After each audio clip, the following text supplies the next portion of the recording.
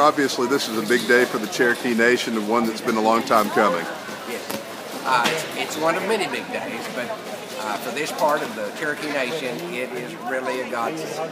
Uh, anytime you can uh, announce a groundbreaking that's going to create a, at least a couple hundred jobs, uh, plus we're spending an additional $80 million right here in Sequoyah County to build this facility for the gaming and the hotel.